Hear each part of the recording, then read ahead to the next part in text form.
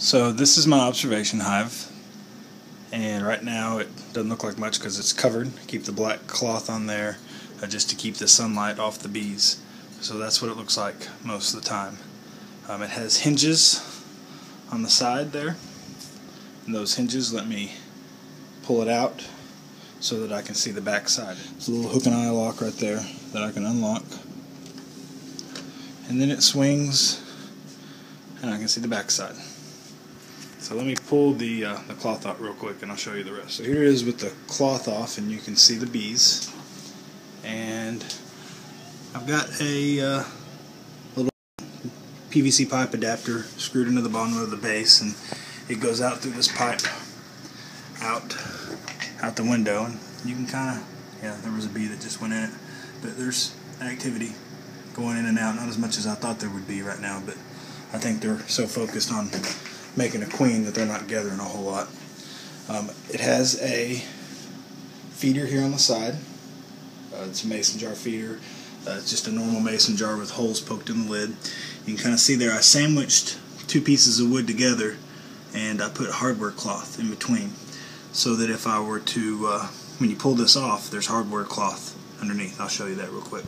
There's what it looks like with the jar pulled off, and you can see the bees in there eating. When I pulled the jar off, it spilled a little bit of the syrup, and so they're they're eating it. But they go. Let's see if I can get it to focus. There you go. And you can see there's a hole there, and that hole leads through this little piece right here, which is hollow on the inside underneath this frame, which has a hole in it. There you can see the bees going in and out, and so that's how they get to the feeder.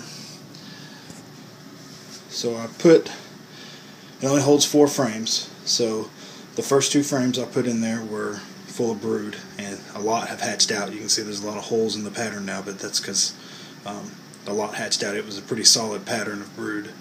Um, and if you look, you can see they're already making quite a few queen cells. Let me turn the, the light off and try to focus. There we go. There's a queen cell right there that they're making.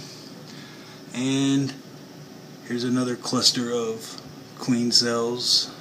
They're covered up by bees right now. There they are. See those cells that are protruding out. This frame is not a very nice looking piece of comb. It has some waves in it. It's not real straight, but I wanted to see um, how they would draw this out. I really want to watch them draw it out completely. And also, I'm sure you can't see because it's just too small, but it was absolutely chocked full of eggs. And so I wanted to make sure they had plenty of eggs in order to you know, raise their new queen. Because when I put them in here, I left the queen back in the original hive. This frame up here at the top is just all honey. Uh, so I gave them one frame full of honey. But like I said, it will it will hinge, so we can see the backside too. And there's more. Well, let me show you here.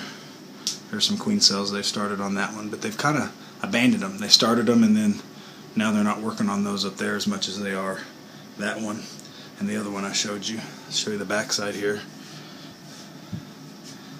On the backside, there's another queen cell they've abandoned. Um, here's a queen cell